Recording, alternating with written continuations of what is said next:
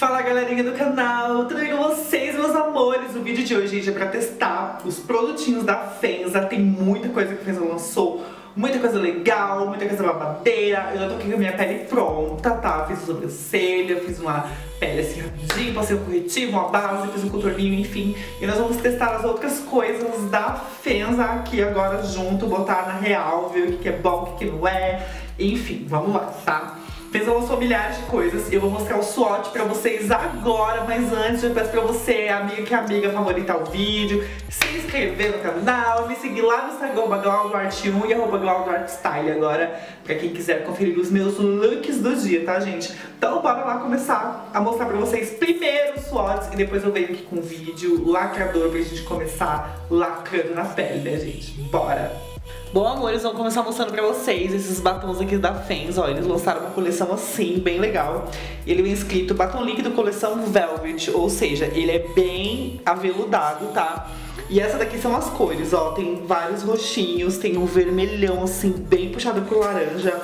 Tem um vermelho mais puxado pro rosa e um bem vermelho, um roxão. E o bom deles é que eles têm nome, por exemplo, um se chama Malva, esse vermelho que eu falei que parece um laranja, ele chama vermelho vintage. Ele é muito lindo. E tem outro aqui que chama Charme. Enfim, tem vários batons que eles lançaram. São sete cores, se não me engano, de batons novos. E eles lançaram também os iluminadores em mousse. Então são três tons, ó, um mais rosé, um mais champanhe, um mais dourado. E a embalagem deles são assim, olha que legal, ó. Essa é a embalagem deles, bem bonitinha. E o aplicador é um bico dosador, ó. Então você não desperdiça produto, tá? Eles também lançaram, gente, essas sombrinhas aqui unitárias em vários tons. São oito tons de sombra igual essa daqui. E eles podem, elas podem ser usadas é, uma cor única, ou pode ser usada como blush, pode ser usada como sombra nos olhos. Ó, deixa eu pegar uma aqui pra vocês verem, ó, por exemplo, esse duo aqui, a gente já consegue usar ele até como blush, como contorninho pro dia a dia. Eles lançaram também a Bruma Fixadora, que é essa daqui, ó. Ela tem uma fórmula enriquecida com colágeno, extrato de flor de lótus e gengibre. Então deve ser bem refrescante. Eu estou curioso para ver esse produto. Também a água micelar deles é bem grandona, tem 200ml. Ela limpa, tonifica, remove a maquiagem e não é oleosa. Vocês sabem que isso aqui é vida, né, gente? E por fim, eu vou mostrar pra vocês, é um lançamento bem legal, essa paletona aqui, ó. Ela chama Paleta de Blush Londres. E olha só que coisa mais linda, gente. Você abre ela, ela é de lata. E aqui tem todas as cores de blush, tá? Então agora eu vou mostrar pra vocês a aplicação na pele. E aí, galera, vocês viram os swatches aí da Fenza, né? Eles arrasaram na coleção, gente. E agora eu vou começar usando o que, gente? Eu vou começar usando o pó facial ultra fino da Fenza. Isso aqui é uma ten super tendência na 25, né, gente? Ó, ele é assim, tem aquela embalagem tradicional dos outros, igual aos outros pós, beleza? Ele tem 14 gramas e essa cor aqui, a minha, é a bege claríssimo. Não sei como ela vai funcionar, tá? Ele tem um cheirinho forte, não é um cheiro muito fraquinho. O cheiro dele é forte comparado aos outros pós que eu tenho. Mas quanto a isso, não, não, me, não me irrita muito, tá? Então, vamos lá aplicar ele no rosto pra ver como é que vai funcionar, gente. Olha só a cobertura desse pó.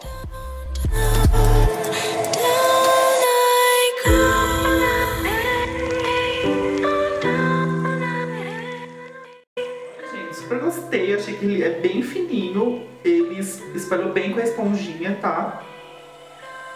Eu vou deixar ele dar uma cozinhadinha aqui antes de eu remover, beleza, gente? Bom, meus amores, deixei ele dar uma cozinhadinha aqui, né, gente, antes de remover. E agora a gente vai remover com o pincelzinho de pó, tá?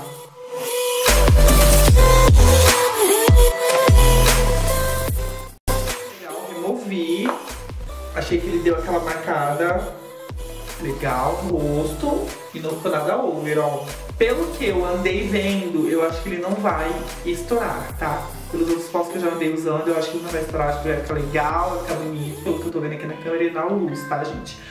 Bom, vamos para outro lançamento da Fenza, que é esse aqui. É a paleta de blush Londres. Gente, olha que legal, ela vem com mega espelho.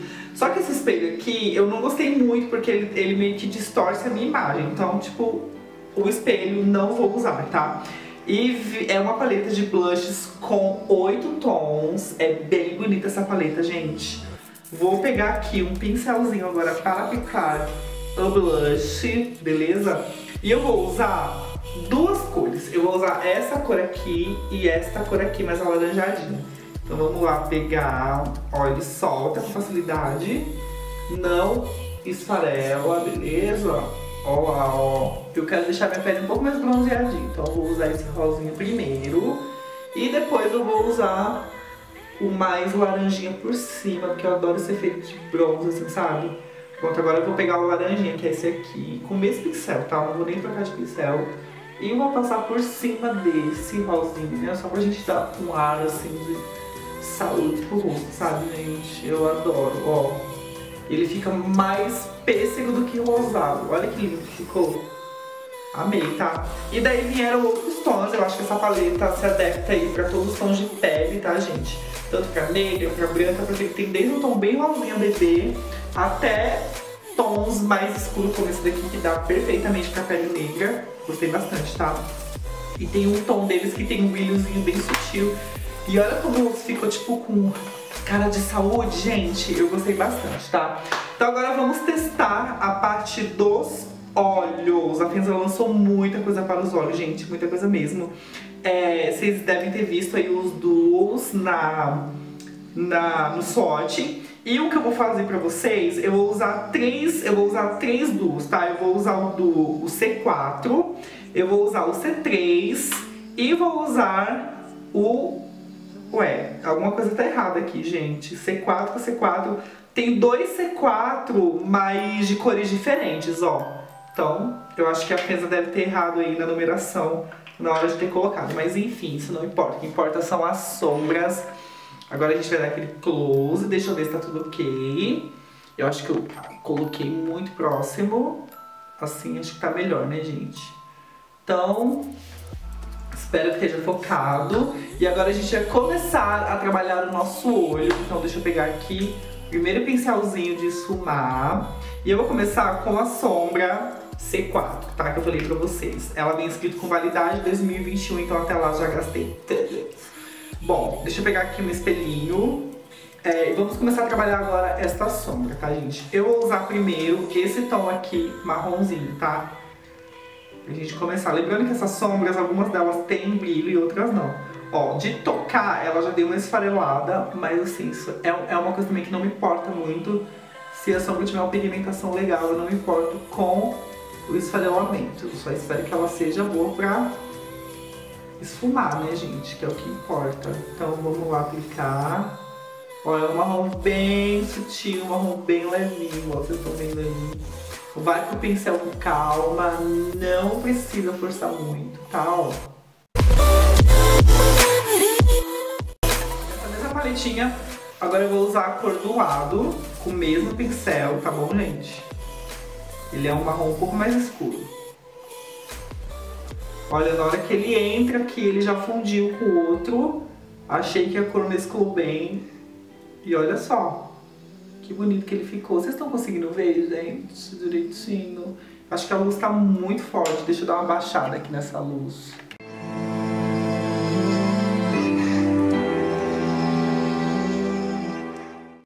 Olha, gente, depositei a sombra. Agora eu vou trocar de duo, tá? Agora eu vou pegar o Duo, que é o mais quente da coleção, que é o C3, esse aqui.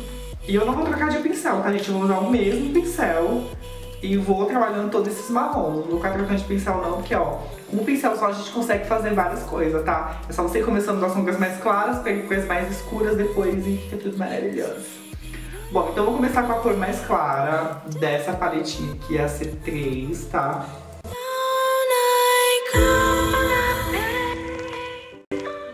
agora do outro ladinho aqui eu vou pegar e vou esquentar mais ainda, agora usando um pouco do laranja, tá? Tem uma cor aqui que ela é bem alaranjada, eu gostei bastante. Olha lá, ó. Olha como fica legal.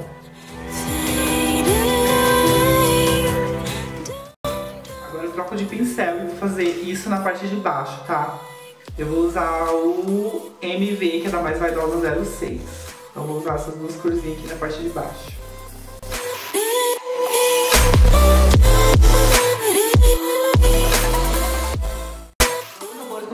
Aceleradinha, ela caiu sobre o meu olho, mas quanto a isso eu não tenho muito problema, é, eu depois vou limpar e fica tudo ok, tá?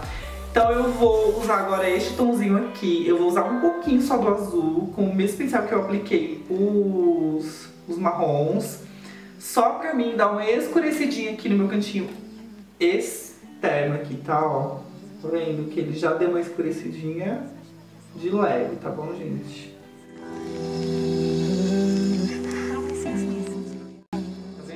Escureceu. E agora o que, que eu vou fazer? Eu vou pegar é, uma das sombras líquidas, na verdade é um iluminador líquido, mas eu vou usar ele como sombra, vou mudar a função. É o iluminador líquido Faces. E a cor que eu vou usar, deixa eu ver que cor que é aqui, gente. Ai meu Deus, é a Nude Fine, tá? Então eu vou usar essa cor e eu vou aplicar diretamente com o aplicador dele.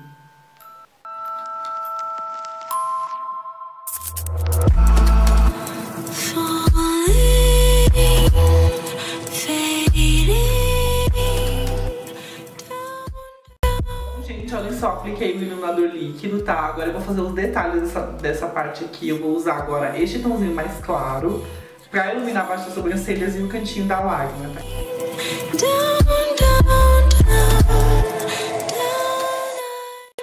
Minha gente, olho finalizado, é isso que eu vou fazer, tá? Então agora, o que que eu vou fazer? Eu vou pegar a máscara de cílios, essa aqui é New York. Ela é uma máscara de cílios que curva, então vamos aplicá-la. Deixa eu ver como que funciona.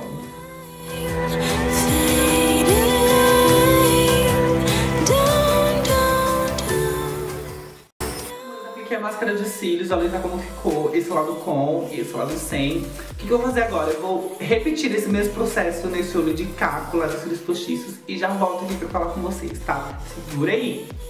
Bom, meus amores, voltei aqui, olhem só, colhei os cílios postiços, tá, gente? Eu fiz um delineado só na base onde eu coloquei os cílios pra dar um acabamento melhor, tá? E agora eu vou usar esta máscara incolor aqui da Fenza que eu amo, ela já tá até marrom, de tanto que eu uso na sobrancelha, só pra me deixar os meus fiozinhos no lugar, tá? Eu sempre faço esse passo, gente, porque eu acho muito importante.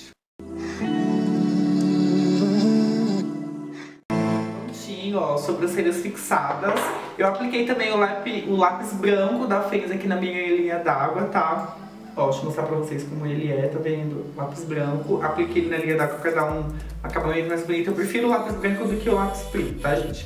Agora vamos para os lábios. Eu vou usar este moranguinho aqui primeiro, que esse aqui é um clássico da vida. Deixa eu abrir, minha unha tá muito grande, preciso cortar, gente.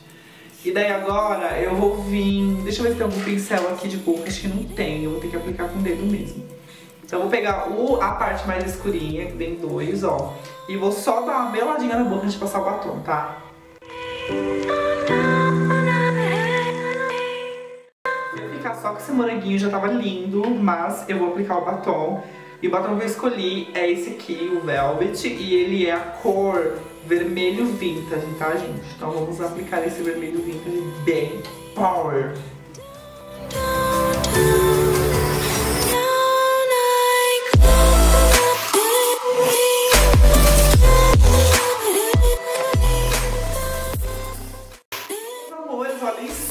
Apliquei o batom e olha o poder desse batom. Gente, parece que ele é laranja, mas ele não é, tá? Ele é um vermelho bem aberto, assim, pra quem não gosta desse vermelho. Nem vai, nem compra esse batom, porque, tipo assim, gente, ele é um vermelho que, tipo, você chega primeiro aqui todo mundo no lugar. Ele é muito lindo, ele é mais bonito pra usar, assim, com maquiagem mais quente, sabe? Acho que é uma maquiagem muito colorida. Não vai ficar legal, mas com a maquiagem mais marrom, mais puxada pro laranja, mais quente, tons terrosos. Esse vermelho vai ficar lindo! Amei demais esse vermelho, gente. Fala que a coleção tá mara, né? Ele é um batom super confortável de passar, ele fica sequinho na boca. A embalagem tá bem bonita, né? E agora nós vamos testar o que, gente? Nós vamos testar a bruma facial, que eu estava louco para usar. Ela diz aqui que ela tem uma formulação enriquecida com colágeno, extrato de flor de lótus, gengibre, tem ação nutritiva e hidratante, tá? Então vamos lá aplicar essa bruma. Deixa eu testar primeiro aqui o tester dela. Bom, tá espirrando legal, então vamos aplicar no rosto agora, tá, gente? O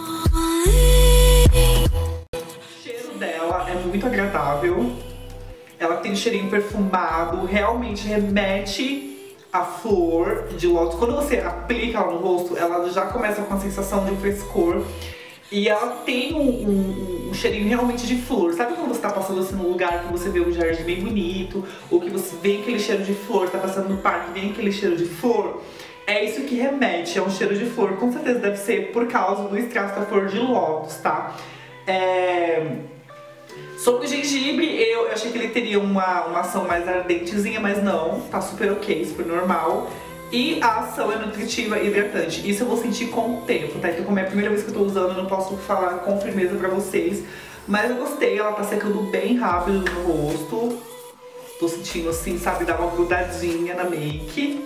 E é isso, gente. Eu espero muito que essa bruma funcione, que ela me dê bons resultados. Ó, vocês verem, não derreteu no meio. Tem muita gente tem medo de usar a bruma, a gente não fique com medo. Esses produtos são criados para usar mesmo, tá? E tem que ser usado. Então é isso aí, ó. Feza arrasou nessa bruma, gente. Olha, tô gostando bastante. A única coisa, assim, que eu vou negativar nela é o pump, tá? Eu achei que ele... Eu achei que o, a, o pulverizador, né? O pulverizador dela é, eu não sei se é a minha, mas eu acho que ela tá com um problema que ela direciona o jato muito forte no rosto. Eu acho que isso não é legal. Mas de resto, a bruma está mara, tá, gente? Ó, ela já secou no meu rosto. E olha aí como que ficou a maquiagem, gente. Agora eu vou dar aquele close da humilhação pra vocês verem. E daí a gente já finaliza esse vídeo, tá, gente? Bora lá pro close.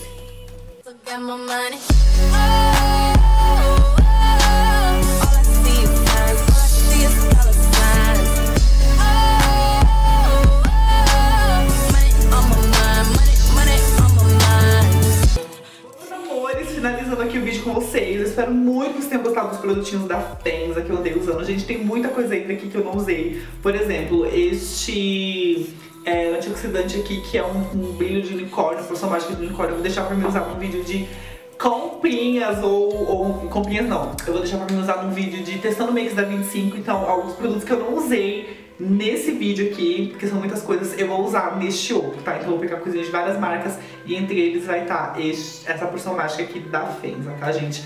Gostou do vídeo? Dá um joinha pra mim, qual produto você compraria, qual produto que você não compraria, gostou da maquiagem, comentem pra mim o que você achou. Gente, eu vou com essa maquiagem aqui pra tudo quanto é canto, olha só que maravilhosa. Tipo, pro evento, pro red carpet, pro casamento. Achei babadeira, ó. Muito linda. Obrigado, Senza, pelo presente. Ai, eu queria mostrar uma coisa pra vocês, gente, ó. Eu recebi essas coisinhas da Fenza dentro da sacolinha muito linda, com muito amor. Olha só. Fez a Makeup Glow Art. Amei, fez. Obrigado. Você já mora no meu coração, tá? Um beijo pra todos vocês. Até o próximo vídeo. Não deixe lá no Instagram curtir a foto desse make aqui tá bafo. Vai lá.